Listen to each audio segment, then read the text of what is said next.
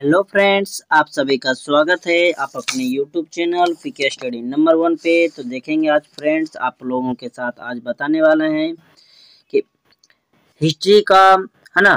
History का कुछ important question VVI question बताने वाले हैं आप लोगों को। फ्रेंड्स तो सभी लोग, है ना, जुड़ जाइए और आप लोगों के साथ हम शेयर करने जा रहे हैं। तो सर चलिए, आज हम सोशल साइंस का बताने वाले हैं ऑब्जेक्टिव क्वेश्चन तो देखेंगे, है ना? चैप्टर बाय चैप्टर आप लोगों के साथ ऑब्जेक्टिव कराएँगे। तो चलिए, चलते हैं क्वेश्चन को शुरुआत करते हैं। तो क्वेश्चन है फ्रेंड्स क्वेश्चन क्या है? तो देख लीजिएगा क्वेश्चन आपका, चलिए। क्वेश्चन आपका है फ्रेंड्स देख लीजिए, क्या होने वाला है? चलिए तो क्वेश्चन हम देख लेते हैं, क्या है? चलिए। क्वेश्चन है फ्रेंड्स यूरोप का मरीज़ किसे कहा जाता है? ठीक है? यूरोप का मरीज़ किसे कहा जाता है फ्रेंड्स तो ध्यान दीजिएगा। हाँ सर जी तो ये तो आपको याद होगा तो यूरोप का मरीज़ ऑप्शन नंबर ए हो जाएगा, याद होगा ना? तुर्की किसको कहते हैं भाई? तुर्की को कहते हैं, ठीक है? ठीक है? चलिए। तो अगला क्वेश्चन देखिएगा फ्रेंड्स अगला क्वेश्चन आपके सामने है ना? है, यंग यूरोप का संस्थापक कौन था? बताइएगा, यंग यूरोप का संस्थापक कौन था? तो आपका आंसर हो जाएगा फ्रेंड्स है ना?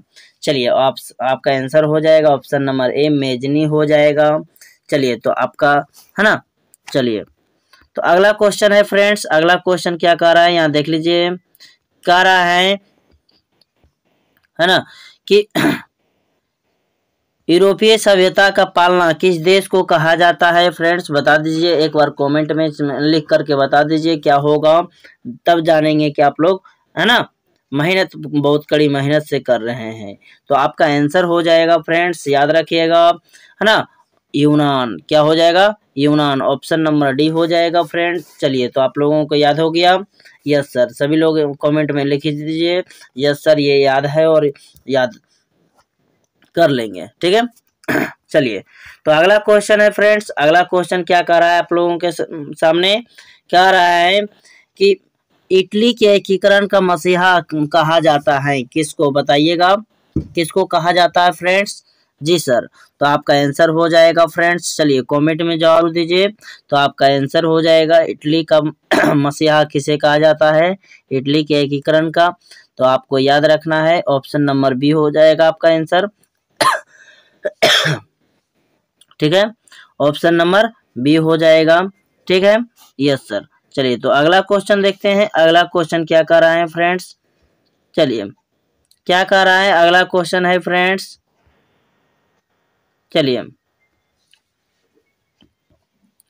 यूरोप, यूरोपीय सभ्यता, राष्ट्रवाद से प्रभावित होकर किस भारतीय शासक जेकोबिन क्लब की स्थापना, है ना? की बताइए। जी सर तो आपका आंसर होने वाला है फ्रेंड्स यहाँ पे है ना ऑप्शन नंबर बी हो जाएगा। ऑप्शन नंबर बी होगा फ्रेंड्स याद रखिएगा ऑप्शन नंबर बी ठीक है? ऑप्शन नंबर बी हो जाएगा। चलिए तो अगला क्वेश्चन देखते हैं फ्रेंड्स अगला क्वेश्चन आपके सामने क्या है? है ना? आपके सामने दिया गया है, क्या है? देखिए, फ्रांस की क्रांति का प्रमुख कारण क्या था, बताइएगा। फ्रांस की क्रांति का प्रमुख कारण क्या था, है ना? तो आपका आंसर हो जाएगा फ्रेंड्स। जी सर। आपका आंसर हो जाएगा, ऑप्शन नंबर बी हो जाएगा, है ना? ऑप्शन नंबर बी हो जाएगा। तो चलिए अगला क्वेश्चन देखते हैं। अगला क्वेश्चन क्या है फ्रेंड्स? चलिए, है ना? अगला क्वेश्चन देखते हैं। तो अगला क्वेश्चन क्या है? देख लीजिए, है ना? अगला क्वेश्चन है फ्रेंड्स। चलिए, है ना? चलिए, अगला क्वेश्चन है आपका है है ना? क्या कर रहा है कि मेजनी का संबंध किस किस संगठन से था? है ना? मेजनी का संबंध किस संगठन से था, बताइएगा। जी सर तो देख लीजिए, लाल सेना है और उसके बाद क्या है? कार्बोनरी है, फिलिप हेटरिया है, डायट है। तो आपका आंसर हो जाएगा फ्रेंड्स ऑप्शन नंबर बी हो जाएगा, है ना? कार्बोनरी, क्या हो जाएगा? कार्बोनरी हो जाएगा, ठीक है? तो अगला क्वेश्चन देखते हैं। अगला क्वेश्चन क्या कर रहा है? चलिए तो अगला क्वेश्चन आपके सामने है कि फ्रांस में किस शासक वंश की स्थापना बियना कांग्रेस के द्वारा की गई थी? चलिए, जी सर तो आपका आंसर हो जाएगा। आपका आंसर होगा, ऑप्शन नंबर बी हो जाएगा, याद रखिएगा, है ना? ऑप्शन नंबर बी हो जाएगा बुर्वो वंश। क्या हो जाएगा? बुर्वो वंश, ठीक है? ठीक है फ्रेंड्स बुर्वो वंश हो जाएगा। ठीक है? चलिए। तो अगला क्वेश्चन है फ्रेंड्स अगला क्वेश्चन क्या कहा गया है? है ना? कि किसने अपनी कूटनीति के बल पर इटली की समस्या को संपूर्ण यूरोप की समस्या, है ना, बना दिया। यूरोप की समस्या बना दिया, बताइएगा। तो आपका आंसर हो जाएगा फ्रेंड्स है ना? तो आपका आंसर क्या होगा, बताइएगा आप कमेंट में। ज़रूर बताइए। तो आपका आंसर हो जाएगा, ऑप्शन नंबर ए हो जाएगा। याद रखिएगा, काउंट काबूर। चलिए। तो अगला क्वेश्चन देखिएगा फ्रेंड्स, आपके सामने है ना? विलियम प्रथम कहाँ का शासक था? विलियम प्रथम कहाँ का शासक था? बताइएगा। जी सर। तो आपका आंसर हो जाएगा फ्रेंड्स बताइएगा। तो आपका आंसर होने वाला है विलियम प्रथम, कहाँ का नाम शासक था, बताइएगा। तो आपका आंसर हो जाएगा ऑप्शन नंबर बी याद रखिएगा फ्रेंड्स जी सर है ना? ये तो हल्का क्वेश्चन आप लोगों के साथ हो रहा है तो आप लोग याद कर लीजिएगा। जालवेरिंग की संस्था किस राज्य से, किस राज्य ने की, बताइएगा। है ना? जालवेरिंग की संस्था किस राज्य ने की? है ना? ऑप्शन आपके सामने दिया गया है तो आपका आंसर हो जाएगा। ऑप्शन नंबर ए हो जाएगा परसा ने है ना? चलिए तो अगला क्वेश्चन देखते हैं। अगला क्वेश्चन क्या है कि हंगरी की भाषा क्या थी, है ना? हंगरी की भाषा क्या थी तो आपको याद रखना है है ना? चलिए, आपका हो जाएगा answer option number B Magyar ठीक है? तो अगला क्वेश्चन अगला क्वेश्चन क्या कर रहा है फ्रेंड्स यंग इटली का संस्थापक कौन था, बताइएगा, है ना? तो यंग इटली का संस्थापक आपका आंसर हो जाएगा, है ना? मेजनी, क्या हो जाएगा? ऑप्शन नंबर सी क्या होगा? ऑप्शन नंबर सी हो जाएगा फ्रेंड्स मेजनी, है ना? चलिए तो अगला क्वेश्चन अगला क्वेश्चन आपके सामने क्या कह रहा है? देखिए, कि उन्नीसवीं शताब्दी में यूरोप राष्ट्रवाद के विकास का क्या परिणाम हुआ? क्या परिणाम हुआ फ्रेंड्स बताइएगा तो आपका आंसर होने वाला है है ना? तो आपका आंसर क्या होगा बताइए। जी सर। तो आपका आंसर हो जाएगा ऑप्शन नंबर डी, याद रखिएगा फ्रेंड्स, राष्ट्रीय राष्ट्रीय राज्यों की स्थापना। ठीक है? तो अगला क्वेश्चन देखिए, अगला क्वेश्चन क्या कह रहा है कि नेपोलियन संहिता किस वर्ष लागू की गई? नेपोलियन संहिता किस वर्ष लागू की गई? फ्रेंड्स बताइएगा। जी सर।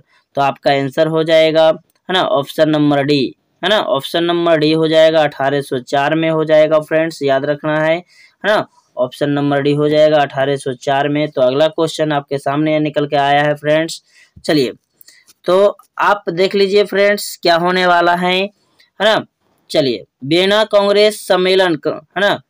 जिसको बोलते हैं कांग्रेस, है ना? बेना सम्मेलन, है ना? कांग्रेस का अध्यक्ष कौन था, बताइएगा। जी सर। तो आपका आंसर हो जाएगा फ्रेंड्स आपका आंसर होने वाला है ऑप्शन नंबर डी हो जाएगा, है ना? मेटरनिक हो जाएगा फ्रेंड्स एकदम याद होगा आपको। तो अगला क्वेश्चन देखिए कि मेटरनिक व्यवस्था का उदय क्या था? मेटरनिक व्यवस्था का उदय क्या था फ्रेंड्स जी सर है ना? तो आपका आंसर होने वाला है। क्या होगा फ्रेंड्स बताइएगा। तो आपका आंसर क्या होगा? जी सर चलिए। तो आपका आंसर हो जाएगा, है ना? चलिए ऑप्शन नंबर सी हो जाएगा, याद रखिएगा ऑप्शन नंबर सी हो जाएगा, पुरातन व्यवस्था की पुनः, है ना? पुनः स्थापना चलिए तो अगला क्वेश्चन देखिएगा फ्रेंड्स अगला क्वेश्चन क्या कर रहा है? मेटरनी कौन था? है ना? मेटरनी कौन था? तो आपका आंसर क्या होगा फ्रेंड्स चलिए कमेंट में जो ज़रूर दीजिए।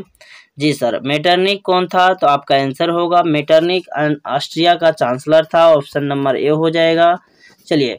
तो अगला क्वेश्चन देखिए, है ना सीडाउन का युद्ध किसके बीच हुआ था? बताइए सीडाउन का युद्ध किसके बीच हुआ था? बताइएगा। है ना? चलिए, ये एकदम ऑप्शन आपके सामने दिख रहा होगा तो ऑप्शन नंबर सी हो जाएगा। है ना फरसा और फ्रांस के बीच हुआ था। तो अगला क्वेश्चन देखिएगा फ्रेंड्स अगला क्वेश्चन क्या कह रहा है? है ना, किसने कहा था? किसने कहा था कि फ्रांस जब छिकता है तो बाकी यूरोप को सर्दी, जुकाम हो जाता है। है ना? जी सर, है ना? तो आपका आंसर हो जाएगा ऑप्शन नंबर सी हो जाएगा फ्रेंड्स है ना? मेटर्निक ने कहा था, है ना? आपको याद होगा तो अगला क्वेश्चन देख लीजिए फ्रेंड्स एकदम इम्पोर्टेंट क्वेश्चन है। वीवीआई क्वेश्चन है ना? वीवीआई क्वेश्चन दो हज़ार तेईस में आपका छपने वाला है है ना? मैट्रिक के एग्ज़ाम में तो आप लोग टेंशन नहीं लीजिए, आपको, है ना? शुरू से अंत तक, है ना? क्वेश्चन को देख लीजिए, क्या है, और ये आपको कंफ्यूजन करा देगा कि आप कौन सा क्वेश्चन पढ़े हैं, कौन सा नहीं पढ़े हैं तो पूरा वीडियो देख लीजिए, है ना? चलिए तो विस्मार्क किस विद्वान के विचारधारा से प्रभावित था, बताइएगा?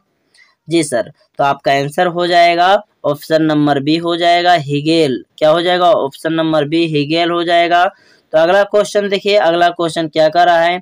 नेपोलियन कोड में कुल कितने कोड थे? नेपोलियन कोड में कुल कितने कोड थे, बताइएगा। जी सर तो आपका आंसर होने वाला है पाँच हो जाएगा, ऑप्शन नंबर रहेगा। चलिए तो अगला क्वेश्चन देखिए। अगला क्वेश्चन है, जर्मनी एवं इटली के एकीकरण के विरुद्ध निम्न में कौन था बताइएगा? जी सर तो आपका आंसर होने वाला है, ऑप्शन नंबर सी है ना, याद रखिएगा, ऑस्ट्रिया, ठीक है? तो अगला क्वेश्चन देखिएगा, अगला क्वेश्चन क्या है फ्रेंड्स, है ना?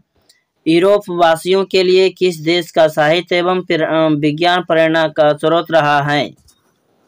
चलिए तो आपका आंसर हो जाएगा, ऑप्शन नंबर बी हो जाएगा। चलिए, यूनान हो जाएगा। ठीक है?